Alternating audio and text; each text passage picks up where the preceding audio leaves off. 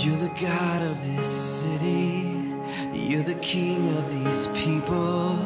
You're the Lord of this nation. You are. You're the light in this darkness. You're the hope to the hopeless. You're the peace to the restless.